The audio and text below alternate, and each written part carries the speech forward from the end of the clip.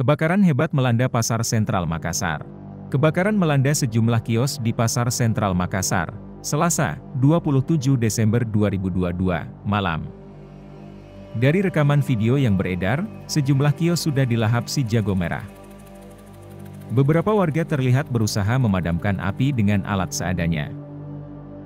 Belum diketahui jumlah kios dan kronologi kebakaran itu terjadi.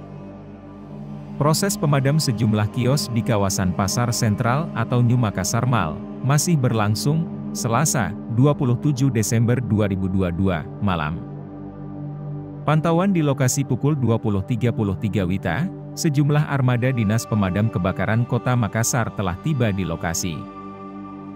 Petugas damkar dibantu warga dan pedagang pun masih berjibaku memadamkan api. Api melahap sejumlah kios di sisi selatan New Makassar Mall. Sejumlah pedagang hanya bisa menangis meratapi kios jualannya yang ludes terbakar. Belum diketahui pasti jumlah kios yang terbakar.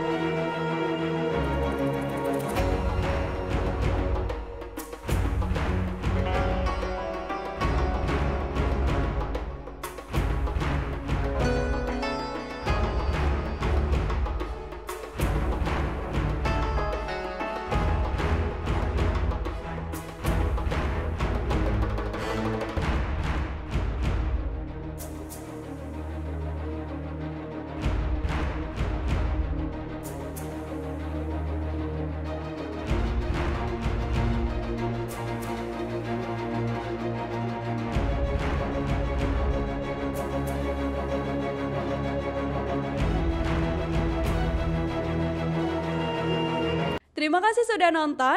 Jangan lupa like, subscribe, dan share ya.